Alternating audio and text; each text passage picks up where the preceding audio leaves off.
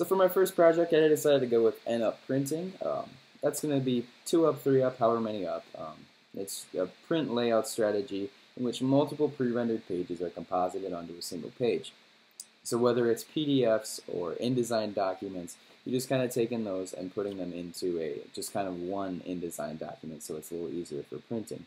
It's achieved by reduction in size, possible rotations, and subsequent arrangement in a grid pattern. Um, so yeah, you just kind of rotate it and just kind of find the best way that they fit in there. The primary purpose of it is to reduce the number of pages that a printed work would otherwise require without having to re-edit the pages. So it's just going to be a lot easier to, and a lot easier and a lot more efficient when you print if you use the N-up strategy. If you're printing a lot of things or using a certain um, layout there. Um, so I'll show you a few examples here.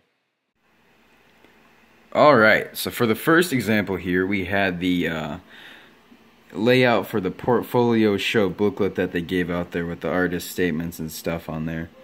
Um, this was actually a great use of the N-up printing because they used both front and back and they had four on here so it was just a great way to save paper and um, just kind of make it a more efficient design.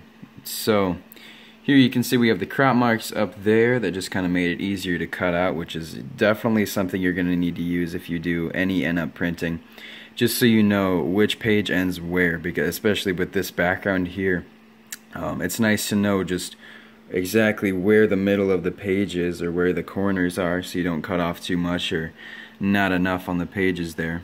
Um, that's the first example of N-up printing. So alright, our next example here is going to be also from the portfolio show. Um, this is an example of an 8-up layout here. And as you can see, we also have those crop marks in there. And we also have some gutter on here too, just because this design was small enough that you wanted to have some extra space in between these so that it didn't get too crowded. But you can just see uh, we're just using that grid layout that we talked about earlier. Um, it's just 8 by 2 there just to make it a little bit more efficient. Because I mean rather than just printing one of these on the piece of paper I mean you're wasting a lot of paper if you do that or even two. You're able to get eight on a piece of paper. So this N-up printing is really great if you want to save paper or um, just kind of make your layout a little bit more efficient um, when it comes to cost and stuff. Using an N-up layout is a great way to kind of promote that cost effectiveness if you're going for that. So this is another good example of N-up printing. Alright, so for our next example here, we had our InDesign keyboard shortcut booklet. Um, this is a two-up layout uh, featuring crop marks there. Um, in this one, we didn't have any bleed or going at all uh, close to, to the edge of the page there um, just because we wanted that extra white space around the side. But this, we actually used screenshots um, rather than a PDF or another InDesign file. We just screenshotted it from the book, did a little editing with the page numbers and the stuff at the top there in InDesign.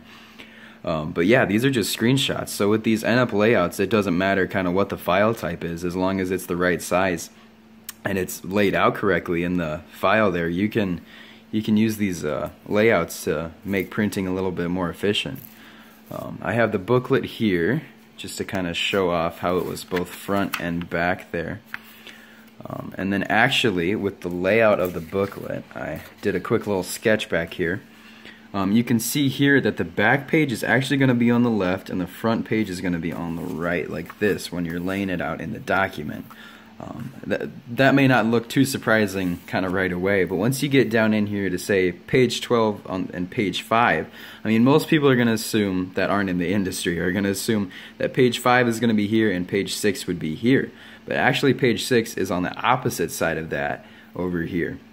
Um, because if you lay it out that way, you're actually going to be able to make this booklet the right way. But if you laid it out 1, 2, 3, 4, 5, 6, all on the same side, it's not going to come out the right way. So that just kind of shows how having a good plan and actually sketching this out and having an impo is going to be um, huge for how your design is going to turn out. Alright, and then finally, I had this cheesecake dessert menu layout here, which looks very delicious. But this is another example of a 2-up that actually kind of looks like a 4-up, but actually just because it folds in the middle here, you don't cut. Um, it folds in the middle just because it was a table tent. Um, but you can see here we have some crop marks down there, so you know where to know where to cut there. So we're trimming off there, but actually you don't want to trim off the bottom here because that's what you're going to use to fold. I have the example here of how it turned out. You can see there there. But yeah, I mean, it's just, it's a great way to make table tents because you get two rather than one here. And I mean, if you're, if you have a bigger piece of paper, you can get even more. But just on these eight and a half by 11 pieces of paper, you get two for the price of one. So it's just a, a great way to save on money and save on paper. So for N-up printing, that's it. I mean, it's a pretty elaborate topic, but I covered what I could in five minutes. And um, we, it's something we've done a lot of actually in the in the first year at least. I mean, even this year we've done a pretty good amount. And it's something if you work anywhere in print, you're going to do a lot of. So knowing stuff about N-up printing is just is really important. So hopefully you learned something.